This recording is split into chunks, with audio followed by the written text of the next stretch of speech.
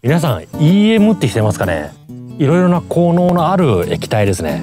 それ一番有名なのが浄化。汚い水とかをきれいにする。そういう効果がありますね。他にもいろいろな効果がある。でも一番身近に体験できるのがこの汚いものを浄化する効果と消臭効果ですね。それ今回何に使うか？この簡易トイレ。簡易トイレって簡易トイレって仕方ないですけど匂うんですよね。それこれのこの汚物タンクと給水口そこに投入します。これを投入します。それどうしてこれで匂いが取れるのか。匂いって悪い菌が繁殖してそれで匂うんですよね。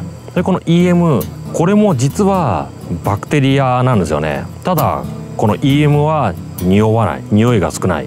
でこのバクテリアによって悪い匂いのする菌をこの駆除する。それに匂いを抑える。そういう効果がありますね。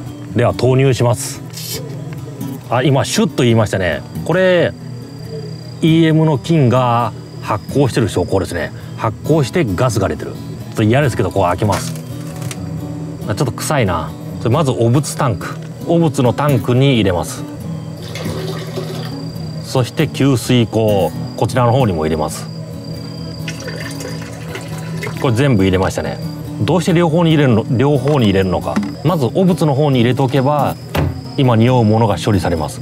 そして給水タンクの方に入れるとこれから使って流す時にその水がその便器の方を回ってタンクの中に降りてきます。これによって両側から匂いを取ってきますね。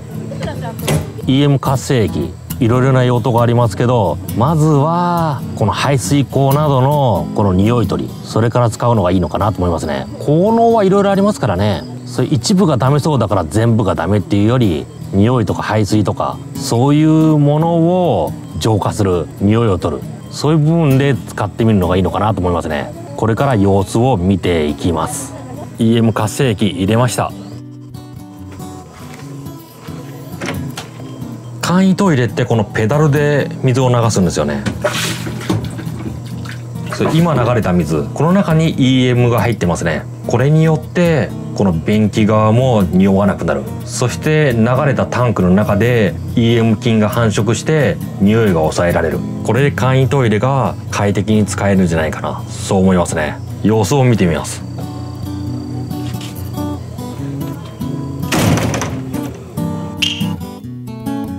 ジエの動画解放軍登録よろしく。お願いします焼津、えー、テレビも登録よろしく。焼津 TV も登録お願いします